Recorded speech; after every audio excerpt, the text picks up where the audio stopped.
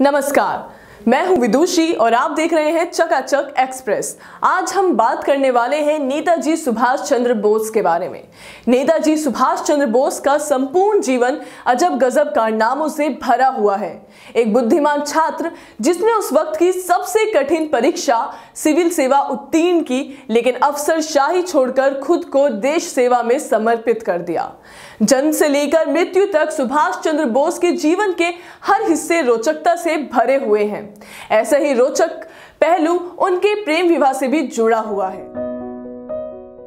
नेताजी ने एमिली शेंकिल से प्रेम विवाह किया था।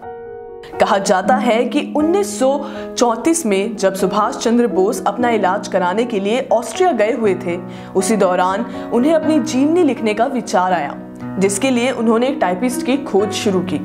टाइपिस्ट की खोज करने के लिए नेताजी के ऑस्ट्रिया स्थित एक फ्रेंड ने उनकी मुलाकात एमिली शेंकिल से कराई।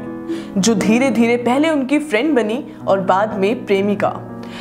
कुछ ही समय बाद 1937 में दोनों ने इस रिश्ते को शादी के पवित्र बंधन में बदल दिया।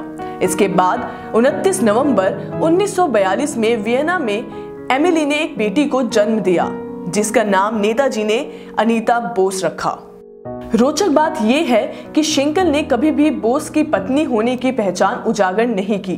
वो अपनी बेटी अनीता के साथ ऑस्ट्रिया में अलग ही रहती थी और जीविका के लिए एक तार घर में काम करती थी।